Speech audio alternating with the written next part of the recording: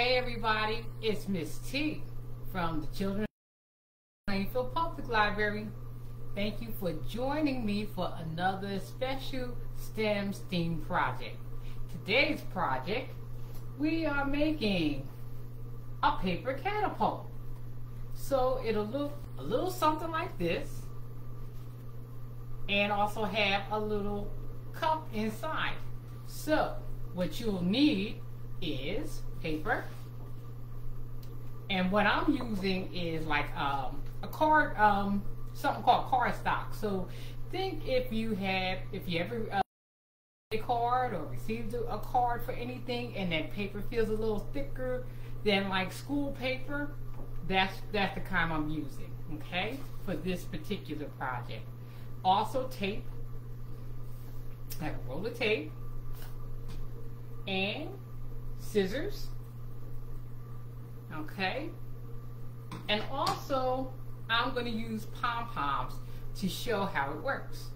If you don't have pom-poms, that's okay. You can use and roll up, you know, whatever paper you have left, and just roll it up and use it for your catapult, okay?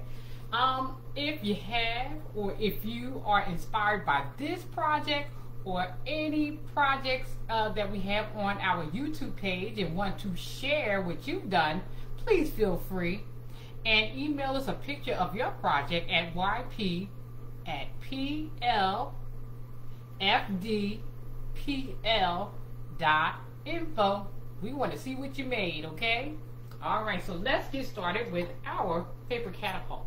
Now, you have your paper and you can first fold it in half. So just take it, fold it in half, corner to corner, just like that, like you're folding, you know, something to put away.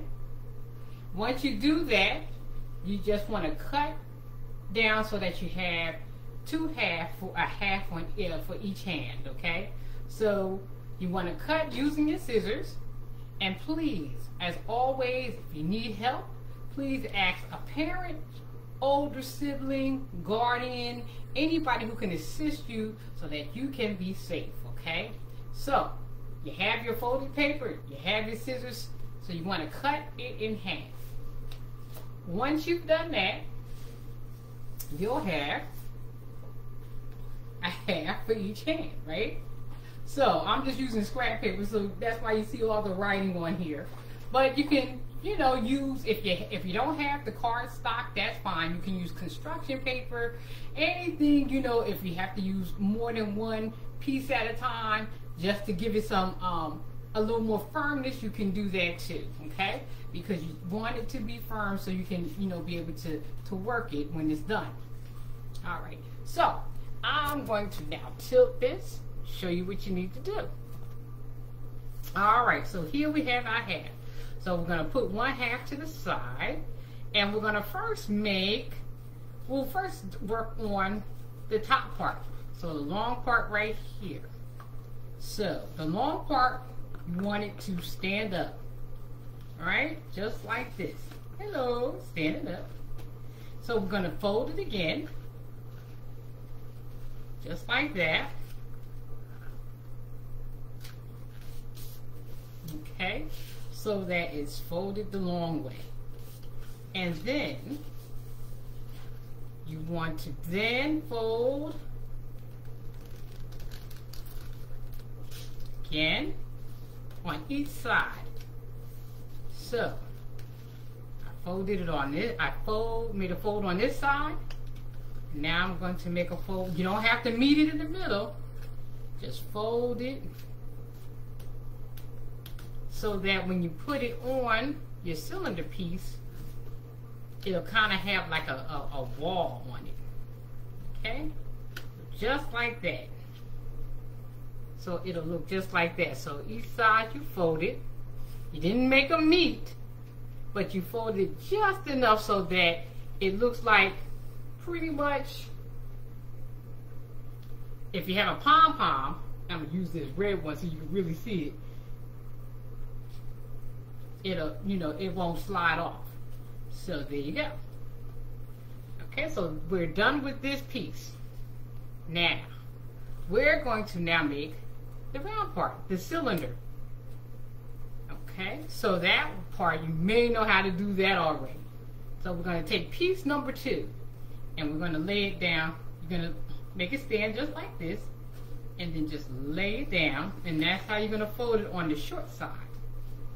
Okay, so we're going to roll it. Just like if you were rolling up um, a newspaper and just rolling it just like that. And then you have your piece right here. That part you need your tape for. So we got our tape. And now I'm going to put the tape just along the side. So it won't fly open. Okay, so I'm going to do that right now. So that our, and this is called a cylinder. Kind of like a, you know, like you can look through it or it can, you know, roll. Another piece of tape.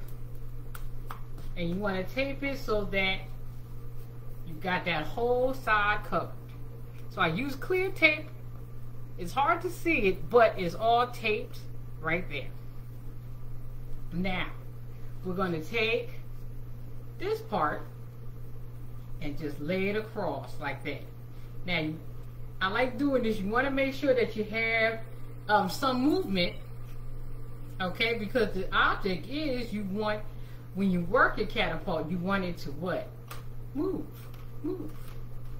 So you want to make sure that you um, place it so that you're able to have that movement when you're ready to use it. Okay?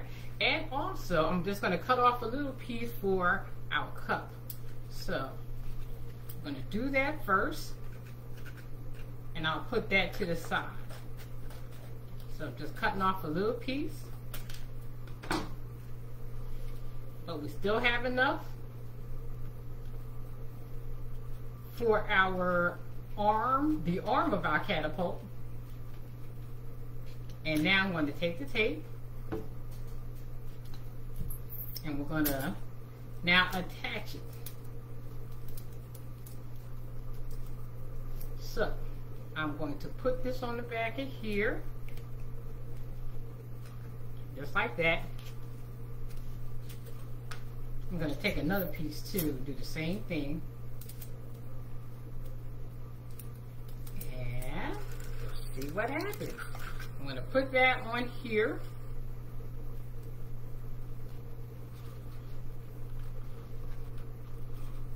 And already. So it's nice and secure. You can lift it. It's not falling off. Just like that. So now we're going to make the cup. So this part right here you can go ahead and open it, make it smile, hello, and just join it together just like that. What I try to do, I'll put it in here. You want to fit it first. Make sure it'll fit. Just like that. You can also feel free to cut it if you um, don't want such a high cut. I think that's okay. So it'll fit a little something like that. Okay, I'm gonna move my hand so you see. I'll move that up. Just like that. Now, to tape it, I'm gonna tape this right here, this part right here, so you make it a, a ring. I'm gonna tape And just like that, so now it's a ring. And we'll put it right back in, just like that. With more tape, we're going to secure it down. So, here's more tape. Got the cup in, taking the tape, putting it down like that, and putting the tape all the way down on that. So there's the tape. So I put the, attach the tape, put it all the way down to the bottom. So I'm going to do the same thing on the other side.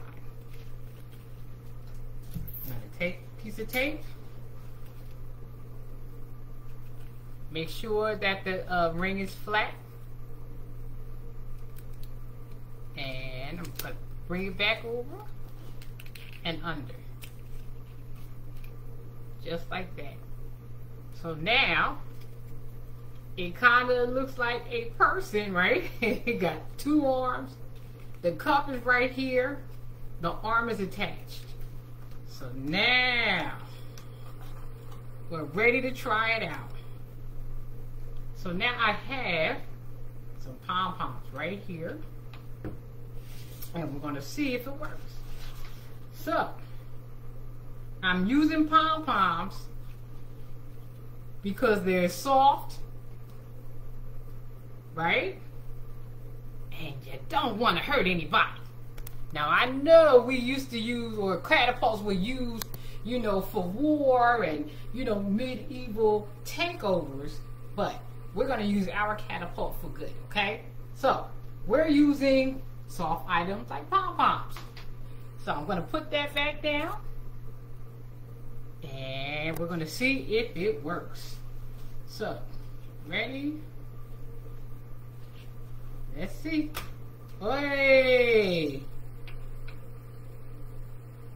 Let's see. I'm going to put another one in.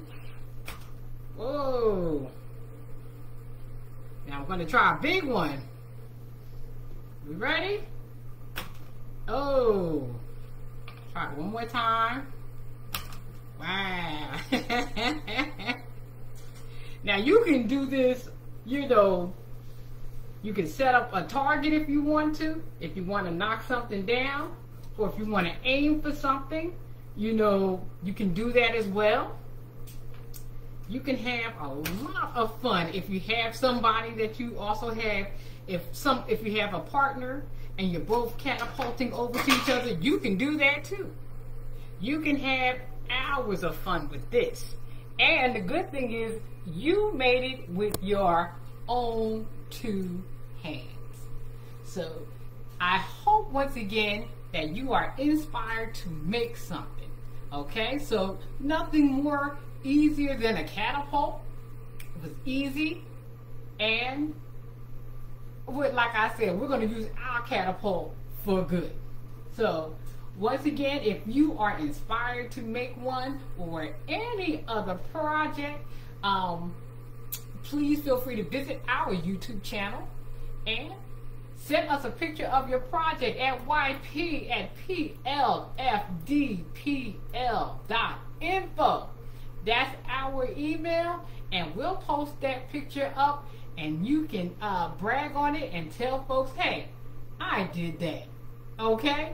So once again, this is Miss T from the Children's Library of the Plainfield Public Library.